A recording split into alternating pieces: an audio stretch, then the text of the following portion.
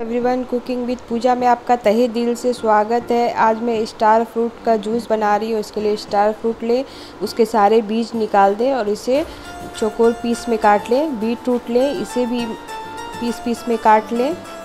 धनिया पत्ती ice cube mixer jar में धनिया पत्ती स्टार फ्रूट और बीट रूट डालें। इसमें नमक, स्वाद अनुसार काला नमक थोड़ा सा काला नमक, चीनी, दो चम्मच,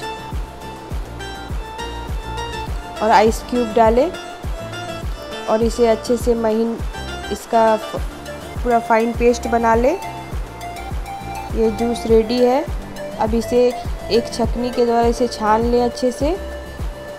इसके पल्प को पल्प को बाहर निकाल लें। ये काफ़ी हेल्दी है। अब हम एक कटोरी में नमक और लाल मिर्ची लेंगे। अब जिस ग्लास में हमें सर्व करना है, उसे उल्टा करके इस पे लगाएँगे। इस ग्लास को इस पे लगा दें अच्छे से। ये चारों बगल अच्छे से लग जाएगी। ये सर्व सर्व करने के लिए ये रेडी है। अब इस पर हम लेमन लगाएँगे, स्ट्रॉ लगाएँगे। जूस डालें, जिसे डायबिटीज़ है वो इस पर चीनी स्किप कर दें। ये पीने में काफ़ी टेस्टी है और काफ़ी हेल्दी है।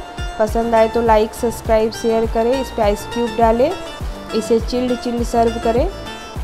ये गर्मी के लिए काफ़ी हेल्दी ड्रिंक है और काफ़ी यमी भी है। एक बार इस तरीके से बना के ज़रूर ट्राई करें।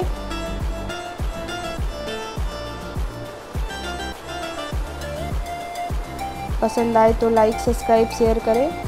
एक बार ज़रूर इसे ट्राई करें यह बहुत यमी है।